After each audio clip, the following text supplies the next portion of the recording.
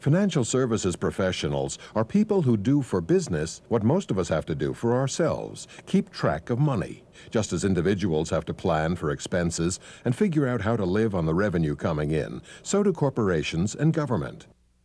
Providing financial services requires training, skill, and an ability to be unemotional about business. The world counts upon the people who do the numbers to provide clear, objective information.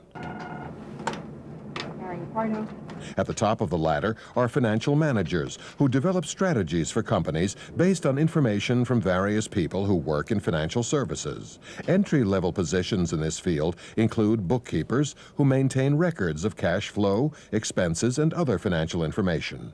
Depending on the level of job you aspire to, you'll probably need training that can range from business courses at a community college to advanced degrees from a university.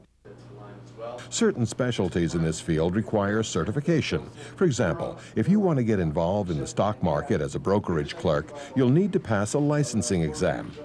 In fact, each industry that uses financial services has its own set of requirements and body of knowledge to learn. Insurance, banking, and tax preparation are just three of the areas of specialization you might want to consider. Some people make the choice of industry first. Others learn a skill, such as accounting, and find their way to a specialty as specific job openings lead them into a career path. Often, companies recruit employees from among students at a vocational school, college, or university. Most of these jobs entail working a fairly standard 40 hour week, though there might be extra hours when special reporting is due, at tax time, or for shareholder meetings. You need to be comfortable working in an office setting and interacting with colleagues or clients.